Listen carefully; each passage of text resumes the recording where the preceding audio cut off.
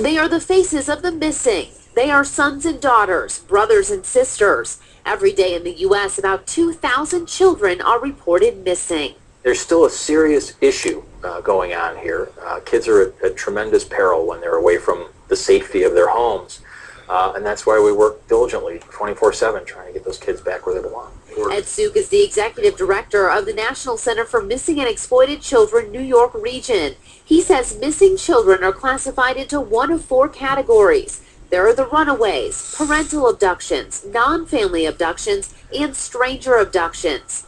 Though very rare, stranger abductions often receive the most attention, even though every case is serious. About 94% of those kids are runaways, and they've, they've left the home for a variety of different reasons. And sometimes we don't really give runaways the attention that we should in the general public. And we think, well, they've made the decision to leave, so what happens to them is, you know, it, it's something that they created themselves. But Suk says that's a big misunderstanding. But the reality with runaway kids, and that's our highest volume, is uh, they usually leave uh, because they're running away from something something that's uncomfortable or bad, whether it be an abusive situation at home or whether it be family dysfunction or, or what have you. And when they leave home, they are never prepared at all for what they're about to experience.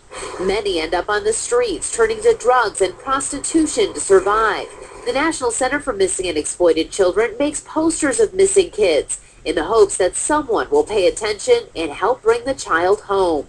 They also reach out to kids before they disappear educating children on ways to stay safe. They're always looking to get posters out uh, on a child because uh, posters are, are a wonderful way to get the general public in any part of the country to look for that child or look for uh, the parent in a, in a family abduction or something along those lines. Just to give you an idea of the problem, in the U.S. each year, roughly 800,000 kids go missing.